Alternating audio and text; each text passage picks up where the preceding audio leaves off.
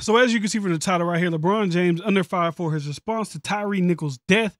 He made a tweet. Obviously, when things like this happen, LeBron does come out and he does speak on them. So I'm gonna read LeBron's tweet. I'm gonna let you know what he said. I'm gonna let you know how I feel about what he said in the response to LeBron James in itself. But this is one thing I'll say. One thing I'll say about LeBron James or any just other celebrity, I understand with what's going on with this situation, why certain celebrities don't speak out and say anything. Because when you're a celebrity, it kind of don't matter what you say. Most times when you speak, you're gonna get too much backlash, too much opinions on what you said to even your your opinion on something being worth enough to even speak on. Because at the end of the day, nothing good is really gonna come from you speaking on something. So let's just get to it. So LeBron's tweet regarding the death of Tyre Nichols faces backlash. So this is what he said. He said this. He said, "We are our own worst enemy." James said in response on Twitter, seemingly referencing the officers being black. So there's the thing. Five black officers killed a black man. Black on black thing going on. Obviously, when you hear black on black crime, you hear these things uh, being said.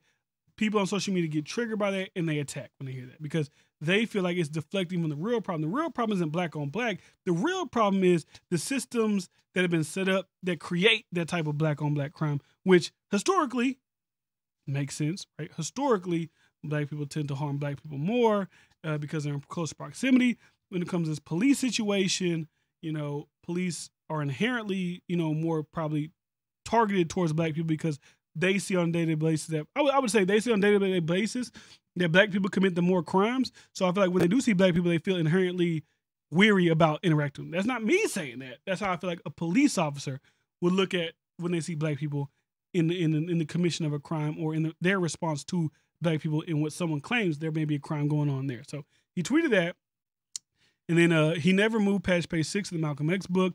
One user replied, you know, just referencing that he had the Michael the, the Malcolm X book in his hand during the press conference, and they asked him about it. And you know, they say LeBron's the biggest capper. He probably didn't even read the book, but regardless, another wrote, "Are you talking about the Lakers? Because if you're talking about this current situation, bruh, nah, wrong time."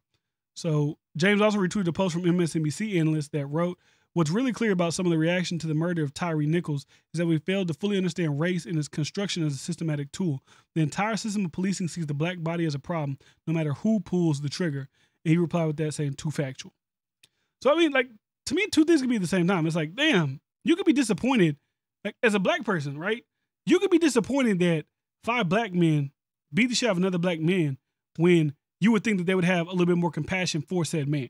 You would think so, right? You would think that that could be an argument or that could be a conversation that's being taking place on social media. Like, damn, we got these brothers coming, knocking the door down and whooping their ass. Cause you see, like I said, you see all these people saying, you know, hey, more black people should get into judgeships. More black people should get into the law enforcement. They should become lawyers because we can't help. They we can't be mad. These white people who don't know nothing about us, where we from, yada yada yada, and they treat us the way they do. But if we become the police officers, if we, you know, get into the streets, things will change because we know how to handle each other. That's what a lot of the argument is on social media as far as black people getting more into the judicial system because we can help ourselves. That's that's what the, the arguments I see are. And LeBron's just pointing out, like, damn, we are worst enemy, right? It's kind of leading to the black on black crime. It's like, okay, y'all complain about these people, but black people kill more people than anybody else. We can get in all the nuanced conversation of proximity and this and that, and we can get in all that. But with this situation, when you see five black guys beating the shit out of another black guy and they're police officers, it do make you like, damn. It make you have distrust for like, damn, we can't even have the black dudes be police officers and won't kill us. Like some people might think that would at least, you know, give me a little bit benefit of the doubt, a little bit of, you know, because they daddy black, they uncle black, they cousin black, they they sons are black. But clearly, with those five at least, it didn't matter who the guy was. Because power corrupts power. Power, power is a corruptible force stronger than anything. Our brains ain't able to really handle power. when you give people power who've never had power over people, the chance that they become correct is more likely than not. And that's what seems to happen with these police officers or just anybody in general. There was a movie out where I think it was a movie. I don't know if it was a movie or YouTube thing I was watching, but a professor, I believe at Stanford, one of these nice big Ivy League schools, did a did a did a a social experiment where he said, "Hey, I'm gonna get these random college kids, bring them in. Some of y'all become prisoners. Some of y'all become what's it called? Some of y'all become the guards, and let's see what happens. These are regular college kids. And as through the study goes on, the people who are guards let that power to do whatever they want over these people corrupt them, no matter who they are. I could have been sitting next to you in psych class two days ago, but now I'm a guard, you're a prisoner. The power is corrupting me. So, like I said, to me, in my opinion, it don't matter who you get in there. Black people to police, black people, white people to police, white people, Mexicans to police, Mexicans, Asians. It don't matter because that power will corrupt any of them against their own people. You see that all around the world, even with like black nations or Asian nations. Like your people will oppress you as well. Like let's just we got to stop that fairy tale narrative that your people will oppress you as well. That's just the facts of it. So I don't even think that none LeBron is necessarily saying is wrong. I just know when you say something like that on social media, people are gonna be like, "Oh, you're blaming black people."